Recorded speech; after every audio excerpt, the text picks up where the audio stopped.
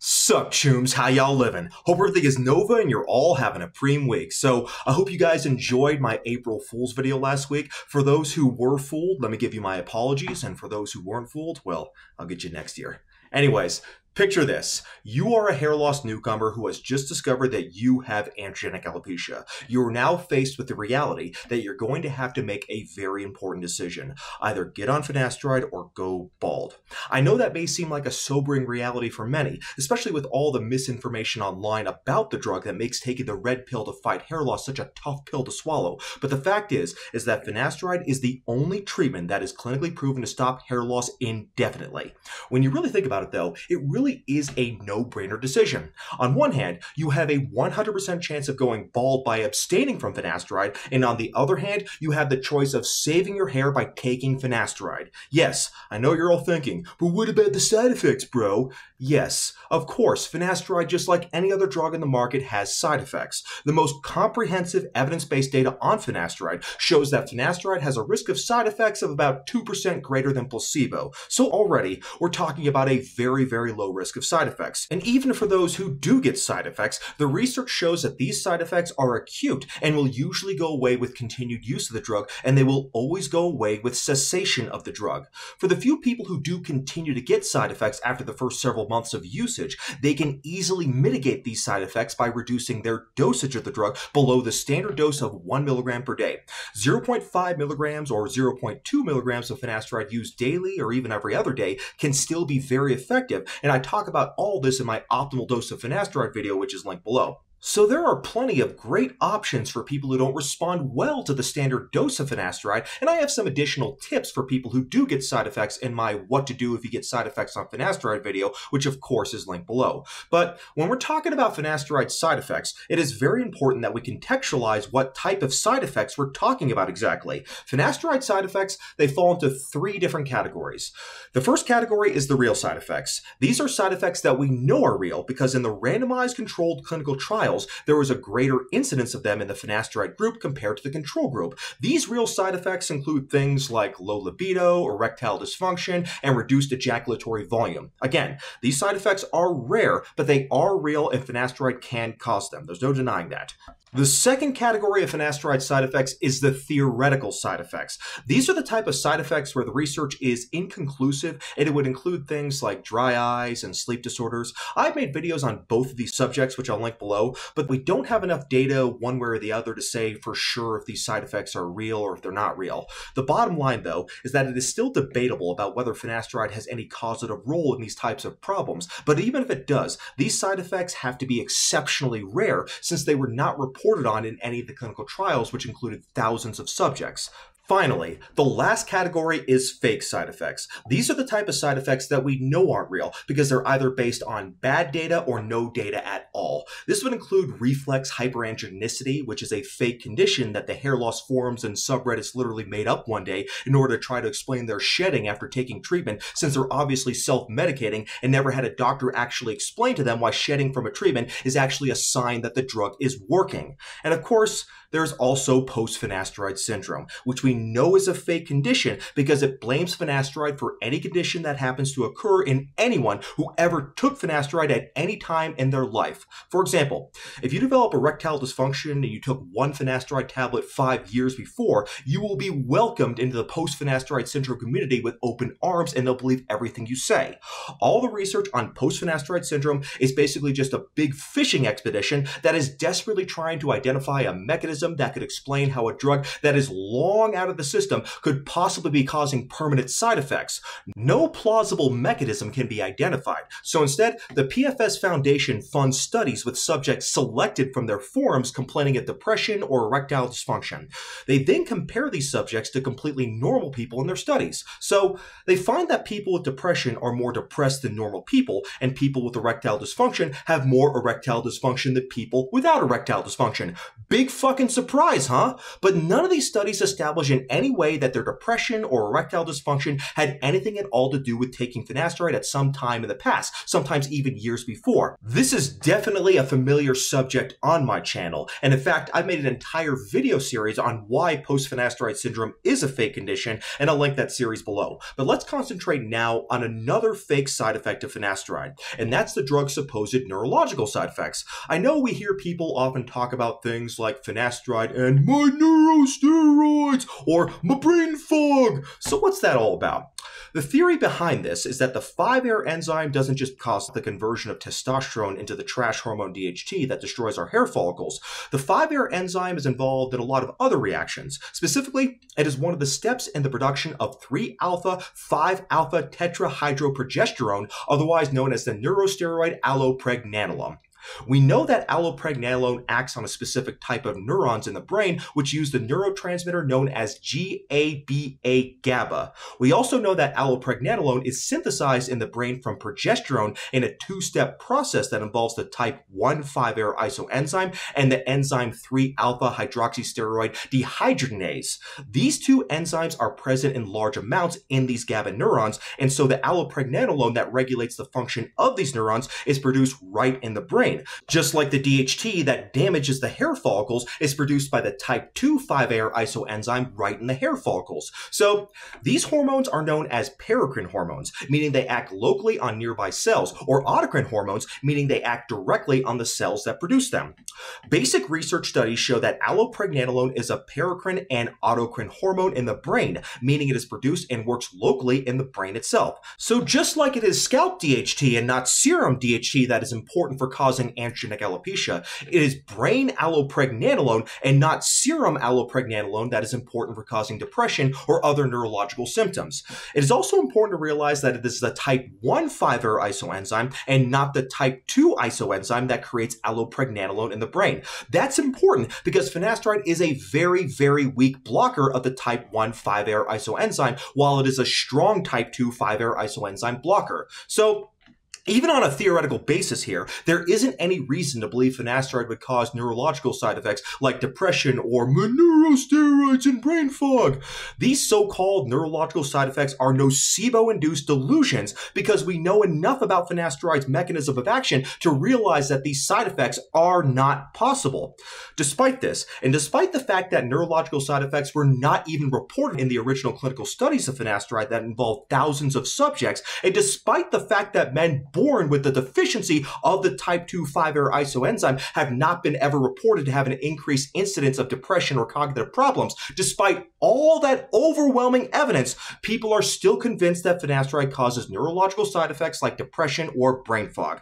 In order to try to prove this, some researchers have decided to examine large post-marketing databases of drug side effects for evidence. In one of my recent videos, I talked about one of those databases called the FAERS FAERS database database. The FAERS database includes side effects reported by patients and doctors in the United States, but there is an even larger database managed by the World Health Organization. It is called Vigibase, and it contains millions of reports of adverse reactions from drugs. Recently, some researchers have been mining this database to look at the incidence of finasteride side effects. One of these database articles was mentioned recently in a Reddit post that one of my viewers brought to my attention a couple of months ago. It's this article here titled, quote, Cognitive Dysfunction Following Finasteride Use, a Disproportionality Analysis of the Global Pharmacovigilance Database unquote. Well, when I went to get the full version of this article, I confronted this massive paywall right in front of me. It's as large as the one I encountered in my April Fool's video, in fact. But this is nothing my Witcher signs and alchemy cannot defeat. So let's give it a touch of the Yrden sign and douse it with some dimeritium, and poof! The paywall is gone. All hair loss knowledge now officially belongs to me and my viewers. So here's the article. So the good news is that this article is from Good Korea, which is home to some of the best hair loss research in the world world. Unfortunately, the bad news is that it is another fucking database study. Finasteride fearmongers absolutely love doing rat studies and database studies, but they can't be bothered to do the one type of study that can actually establish causation and prove that post-finasteride syndrome is real, specifically randomized controlled studies. They hate them for some reason. Anyways, the article starts out parroting the PFS party line that, quote, the suppression of 5A reductase by finasteride can reduce the synthesis synthesis of my neurosteroids in the brain, thereby altering cognition, mood, and libido. Unquote. Like I said, there is no evidence that finasteride acts like this in the human brain. Also, in the introduction to the article, the researchers cite some other database studies that suggest that finasteride could cause depression and other cognitive problems. However, they then reference two randomized controlled studies that specifically tested for cognitive dysfunction with finasteride, and those two studies were both negative, meaning there was no evidence of finasteride causing any cognitive dysfunction. But let's get into the actual study. Like I said, this study uses the Vigibase database, which records side effects reported by patients and their healthcare providers. Like the FAERS database, it is not a validated database, meaning that no one actually checks to see if the supposed side effects are clearly related to the use of any particular drug. Nevertheless, it is a very large database that contains data collected from 1967 to the present, and it contains more than 30 million reports of possible drug side effects throughout the world. So, what the investigators did here was that they did something called a disproportionality analysis. What that means is that the investigators looked at the percentage of finasteride users who complained of cognitive problems like brain fog or depression, and they compared that percentage to the percentage of users of other drugs who had the same problems. Although this sounds like a valid type of analysis, there are some researchers who are skeptical of disproportionality analysis, like in this article here. The problem is that the quality of the data in a database can vary a lot, and disproportionality proportionality analysis doesn't take this into account. But let's put that aside for a moment and look at the actual results. So in the database of over 30 million reports of side effects, the investigators found 54,766 side effects from finasteride overall. Of all the side effects reported from finasteride, 1,624 were reports of cognitive problems. That's 2.97% of all finasteride side effects, which is a pretty small number if you consider that in most finasteride clinical studies,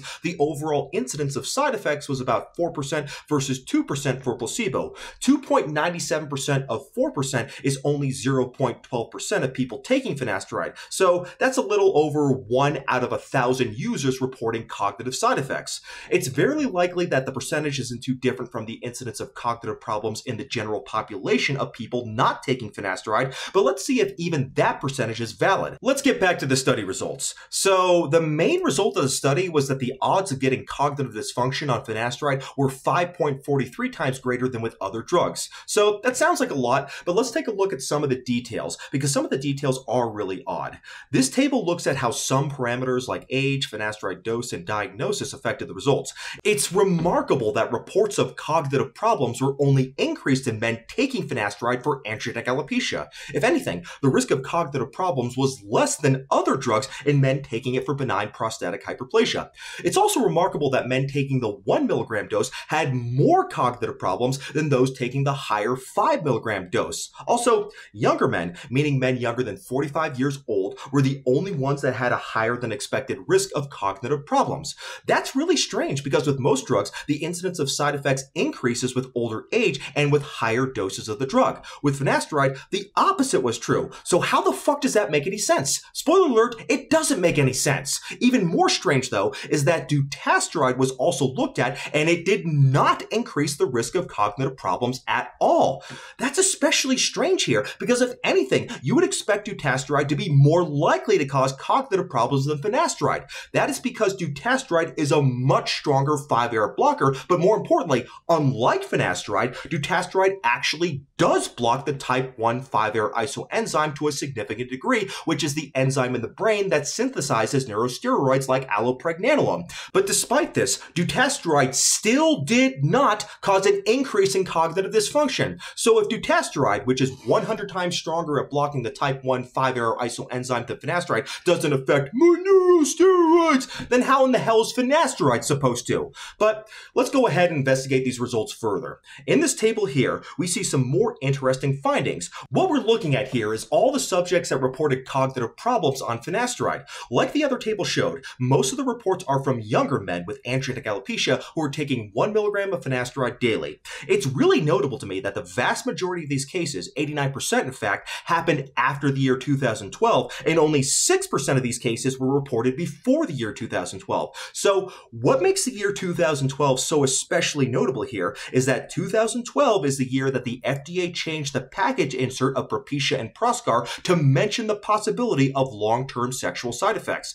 This change in the labeling had nothing at all to do with any actual scientific data. This change was made after an absolute onslaught of media reports and litigation happened against Merck, and so the FDA added this language to the package insert, even though the FDA also clearly stated that a link between these drugs and persistent sexual side effects had not been established. So it seems like this change in the package insert, as well as the rise of anti-finasteride organizations like the PFS Foundation, led to a huge increase of people reporting cognitive problems from finasteride use due to the, all the social media contagion.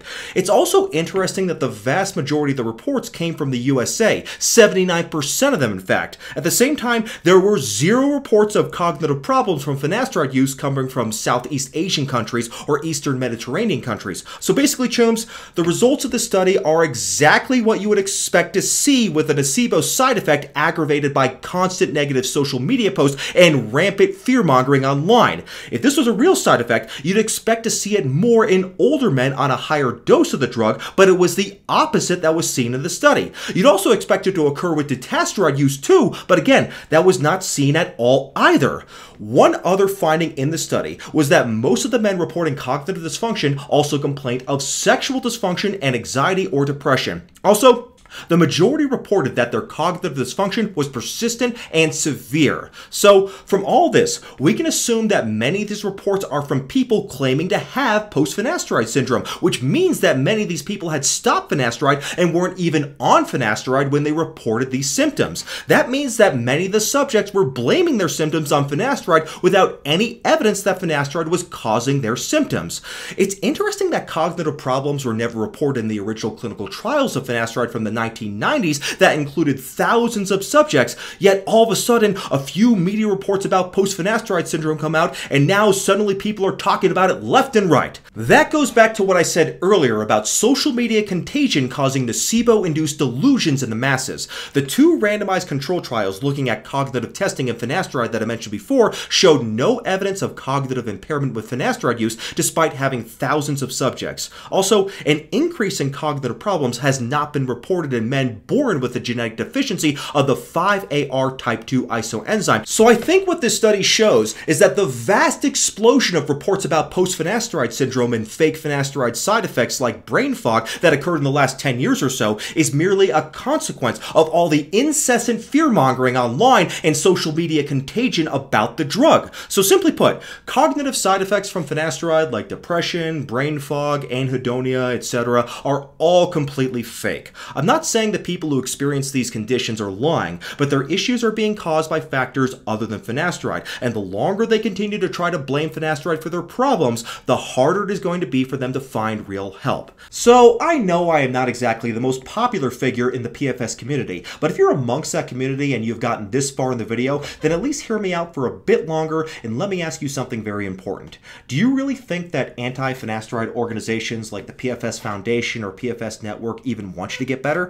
These organizations rely on donations from people like you, people who believe that these fake side effects like post-finasteride syndrome are both real and permanent. So, if you seek proper help for your issues and get better as a consequence of it, then you hurt the credibility of these anti-finasteride organizations. So naturally, they don't want you to get better, and that's why they keep telling you that these conditions are permanent and that the only hope for you is to give money to their organization so that they maybe can find a cure 50 years from now. That's why they stabbed Ryan Russo in the back after propping him up as a celebrity for their cause for several months. It's all just because he had the audacity to actually try to solve his own problems on his own accord, and they couldn't tolerate that. So, why try to seek help from people who don't want you to get better?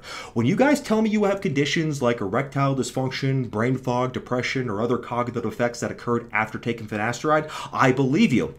When you tell me these things persisted after stopping finasteride, I still believe you because these conditions can be persistent by their very nature. But they were not caused by finasteride. And the sooner you accept that red pill reality that your problems are not caused by finasteride, the sooner you can actually seek out proper medical or mental health. Finasteride haters don't want you to get better though because your suffering benefits them. All right, I think that's all for today, Chooms. Thank you for watching. God bless.